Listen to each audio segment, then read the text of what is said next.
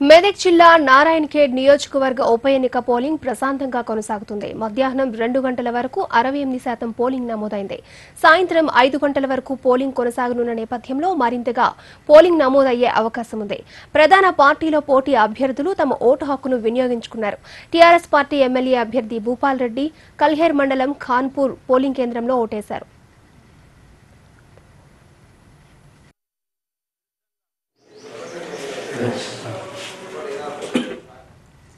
Narayan Khed polling పై మరింత సమాచారం మా ప్రతినిధి మార్గం లక్ష్మీనారాయణ అందిస్తారు.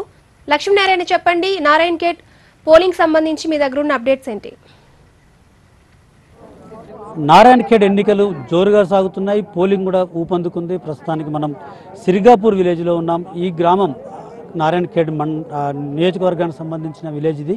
ఈ గ్రామం కింద పదకొండు తండాలు ఉన్నాయి ఇక్కడ అనేక మంది వలస వెళ్ళే ప్రజలు ఉన్నారు వీళ్ళంతా కూడా పక్కనే బార్డర్ కొద్ది దూరం దాటితే ఉండేటువంటి కర్ణాటక ప్రాంతంలో వీళ్ళంతా కూడా చెరుకు కోయడానికి వెళ్తారు ఇక్కడ నుంచి. అనేక మంది కూడా ఇక్కడ నుంచి వెళ్ళి రోజుల తరబడి అక్కడే ఉండి నెలల తరబడి కూడా అక్కడే ఉండే వాళ్ళు ఉన్నారు. వాళ్ళంతా కూడా ఇట్లాంటి సందర్భాల్లో మాత్రమే ఇక్కడికి వచ్చి ఓటు హక్కు వినియోగించుకుంటున్నారు. విఠల్ మీది ఎక్కడ? మీది ఏ తండ? సిరిగాపూర్ తండ మీరు ప్రతిసారి ఓట్లు వేస్తున్నారా? ప్రతిసారి సార్. మీరు ఇక్కడే ఉంటారా? మీరు ఏమైనా వలస పోయి ఏమైనా పనులు చేసుకుని పని పని పోతారు సార్. పనికి పోతున్నారు చెరుకు కొట్టడానికి వెళ్తాం సార్. ఎందుకు అక్కడ దాకా పోతున్నారు ఇక్కడ? ఎందుకంటే? పరిస్థితి ఇక్కడ మంచిగా లేదు సార్. ఎందుకు? ఇప్పుడు ప్రస్తుతానికి ఇప్పుడు నువ్వు తండలలో ఇల్లు మనకు ఇల్లు సరిగా లేదు. కాకపోతే నీళ్ళు వాటర్ సరిగా లేదు. ఏ చేసినా పన మనకు పని అనేటిదే లేదు ఇక్కడ. ఏదో నాలుగు నెలలు పోతాం నాలుగు నెలలు చేసుకుని వస్తాం సార్. అది అది దాని తప్ప ఇక్కడ పని వేరు పని లేదు సార్? వ్యవసాయం చేద్దామంటే ఈ వర్షాలు లేవు. వ్యవసాయాలు మన- మొత్తం బోడిగా రాలే మాకు. రాగడిది లేవు? పరిస్థితి మాకు ఇట్లా. ఏది పైసలు పుట్టుబడి లేక నాలుగు రోజులు బతికేస్తామని నాన్న నెల చెరుకొట్టాయి వెళ్తాం సార్ మేము. శ్రీనివాసరావు గారు ఇక్కడ మీరు మాజీ సర్పంచ్ ఇంతకుముందు ఇక్కడ సర్పంచ్గా చేశారు. ఇప్పుడు ఎలాగో చూస్తున్నారు అనేక మంది అనేక సమస్యలు చెప్తున్నారు వలస వెళ్తే తప్ప బతుకుదెళ్ళలేని పరిస్థితి ఉంది. అసలు ఎందుకు ఈ పరిస్థితి ఇక్కడ వచ్చింది ఇట్లా? అయితే ఇక్కడ ఏమైంది సార్ ఇక్కడ లోకల్ రాజకీయ నాయకులు మేము ప్రయత్నం చేసినా పైనుంచి మాకు సహకారం అందలేదు సార్. మా లెవెల్ వరకు మేము చేసినాం. మాతో ఎంతవరకు అయితే అంతవరకు చేసినాం. మా మా పెద్ద నాయకులు ఎమ్మెల్యేలు గారు తర్వాత మిగతా వాళ్ళు మాకు సహకారం అందించలేదు. ఆ విధంగా ఇది వెనుకబడిపోయింది సార్. కొంతమంది చెప్తున్నారు అసలు ఎమ్మెల్యేలు రాజకీయ నాయకులు ఎన్నికల సమయంలో కూడా రావట్లేదు అంటున్నారు. నిజంగా ఆ పరిస్థితి ఎందుకు వస్తుంది? స్థానిక నాయకులే ఇదంతా మేనేజ్ చేస్తున్నారా? లేకపోతే ఆ స్థాయి నాయకులు ఎందుకు రావట్లేదు? అంటే ఇక్కడ ఏముంది సార్ ప్రతి ఎలక్షన్లో ఇక్కడ ఒకటే పార్టీ గెలుస్తుండే దాదాపు. ఆ విధంగా ఫిక్స్ అయి ఉండరు పబ్లిక్.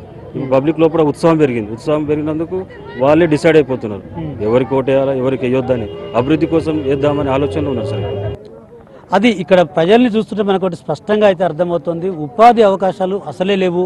వ్యవసాయం సాగుబడి సాధ్యమయ్యే పరిస్థితి లేదు సాగునీరు లేదు.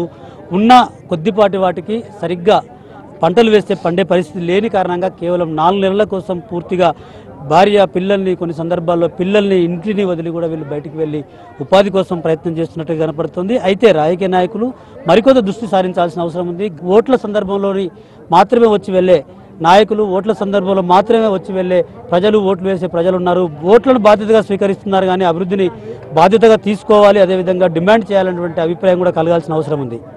కెమెరా పర్సన్ సోమనతో మార్గం express TV Narayan Khed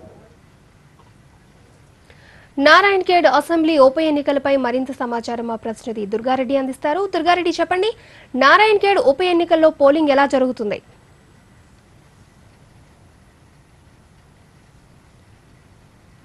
వరకు అరవై ఎనిమిది శాతం పోలింగ్ జరిగింది. అంత ప్రశాంతంగానే జరుగుతుంది. కానీ ఒకటి విషాద సంఘటన చోటు చేసుకుంది. ఇక్కడ పడంచెరులో పనిచేసే విధి నిర్వహణలో మరి హెడ్ కానిస్టేబుల్ పనిచేస్తున్న వీరాసింగ్ సింగ్ మృతి చెందడం జరిగింది. ఇది తప్ప మరి నారాయణఖేడ్ ఉప ఎన్నికల్లో యొక్క ప్రశాంతంగా మాత్రమే కొనసాగుతుంది. అదేవిధంగా ఈసారి ఎట్లా ఎన్నికల్లో ఓటు హక్కు వినియోగించుకునే విధంగా ప్రభుత్వం నుంచి స్పందన వచ్చింది. అదేవిధంగా హైదరాబాద్లో బీటెక్ చేసిన విద్యార్థి కూడా ఇక్కడికి వచ్చి తన కుటుంబ సభ్యులతో ఓటు హక్కు వేసుకోవడానికి ముందున్నారు. మరి వాళ్ళని అడిగి తెలుసుకుందాం. ఇక హైదరాబాద్ బీటెక్ చేస్తున్న విద్యార్థి ఈ విధంగా మీరు ఇంత వచ్చి ఓటు హక్కు వినియోగించుకుంటున్నారు? అసలు ఓటు హక్కు ప్రజాస్వామ్యం గురించి ఏ విధంగా మా ఓటు హక్కు అనేది మన హక్కు. మా మన బాధ్యతను మనం కరెక్ట్గా నిర్వహించుకుని మనం ఒక మంచి నాయకుడిని ఎంచుకోవాలనే తపనతో నేను వచ్చాను. అంటే ఇక ప్రజాస్వామ్యంలో పద్దెనిమిది సంవత్సరాలు నిండిన వారికి అందరికీ ఓటు కప్పు కల్పించాలని రాజ్యాంగంలో ఉంది. నిజంగానే చాలా మంది చదువుకున్న వారు కానీ లేకుంటే ఎడ్యుకేషన్ లేని వారు కానీ ఇతర ప్రాంతాలకు బతుకుదెరువు కోసం లేకుంటే ఉద్యోగరీత్యా వెళ్తున్నారు. చాలా మంది రావడం లేదు. వారు మీకు ఇచ్చే సందేశం మీ బీటెక్ పూర్తవుతుంది. నిజంగానే మీ తల్లిదండ్రులతో కలిసి వచ్చారు ఇంత లేట్ అయినా కానీ మిగతా వాళ్ళకి రావాలంటే మీరు ఏమన్నారు పక్క ఓటకు అనేది మన హక్కు కాబట్టి ప్రతి ఒక్కరు వచ్చి ఓటు వేయాలని కోరుకుంటున్నాను. ఇందులో మన యొక్క ఒక మంచి నాయకుడిని మనం ఎంత ఎంచుకున్న దా దాన్ని బట్టి మన రాజ్య మన స్టేట్ అండ్ మన ఈ ఒక మండల అన్ని ఎంత బాగుంటాయి అన్నది డిసైడ్ అయి ఉంటుంది. సో ప్రతి ఒక్కరు వచ్చి ఓ- ఓటేసి మన మంచి నాయకులను గెలిపించుకొని మన హక్కులను మనం పొందాలని కోరుకుంటున్నాను. అదేవిధంగా ఇక్కడ నారాయణకి సంబంధించిన మరి ఆర్టీసీ ఉద్యోగం చేస్తున్నాడు. సమయం అయిపోయిన తన ఉద్యోగ రీత్యా అక్కడ బాధ్యత నిర్వహించి ఇక్కడ ఓటాకు వినియోగించుకుంటున్నారు. ఇక్కడ మీరు ఎన్ని సంవత్సరాల నుంచి ఓటు వేస్తున్నారు? నిజంగా ఇంత లేట్ అయిన ఓటు వచ్చి ఓటు వేయించుకో వేయాలని చెప్పి మీకు ఆలోచన ఏ విధంగా ఉంది? నాకు ముప్పై ఐదు సంవత్సరాలు అవుతుంది. ఇప్పుడు యాభై యాభై ఐదు వయసు. ఇక పద్దెనిమిది సంవత్సరాలు అయిపోయిన నుంచి కంటిన్యూగా ఓటు హక్కు వినియోగించుకుంటున్నాను. డ్యూటీకి వెళ్ళినా కానీ కూడా టైం ఏదో విధంగా టైం అడ్జస్ట్ చేసుకొని వచ్చి ఓటు హక్కు వినియోగించుకుంటాను అంటే మీరమ్మా మీరు ఎన్ని సంవత్సరాల నుంచి ఓటేస్తున్నారు? నిజంగా ప్రజా సమస్యల పరిష్కారం అవుతున్నాయా? లేకుంటే ప్రజా పరిపాలన అంటున్నారు.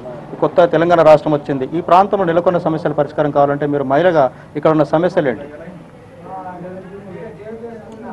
మంచి ఎప్పటికీ ఓట్లేస్తాము అట్లా వస్తే ఇప్పుడు ఓట్లేస్తే మంచిగా గెలిస్తే మంచిగా చేస్తారు అట్లా ఓటేస్తున్నాం. ఉం. ఇప్పుడు నాయకుడు మంచిగా చేయాలని ఓటేస్తున్నాం అంటే ఇక్కడ ప్రధానంగా ఈ ప్రాంతం అంతా మంచినీటి సౌకర్యం లేదు రోడ్లు లేవు అని అంటున్నారు కదా. నిజంగా మీరు ఎన్ని సంవత్సరాల నుంచి ఇక్కడ నివసిస్తున్నారు ఈ సమస్యలు ఏ విధంగా ఉంది నీళ్ళు లేవు. నీళ్ళతో మస్తు బాధ ఉన్నది.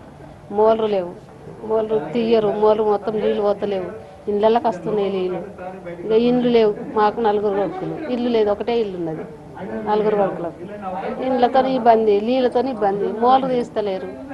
ఇప్పుడు మంచిగా గెలిస్తే మంచిగా చేస్తాడు అన్నది ఉన్నది అన్నట్లు ఇక మనం చూడొచ్చు ఈ ప్రాంతం అంతా కూడా మంచినీటి సమస్య ఉందని చెప్తున్నారు. అదేవిధంగా మనం పోలింగ్ శాతం సరళి పరిశీలించినట్టయితే ఒక నారాయణఖేడ్ టౌన్లోనే అరవై ఐదు నుంచి డెబ్బై ఐదు శాతం పోలింగ్ అయింది. మిగతా చోట్ల కూడా అరవై ఎనిమిది పాయింట్ తొమ్మిది వరకు ఒక పోలింగ్ శాతం నమోదైనట్లుగా సమాచారం వస్తుంది.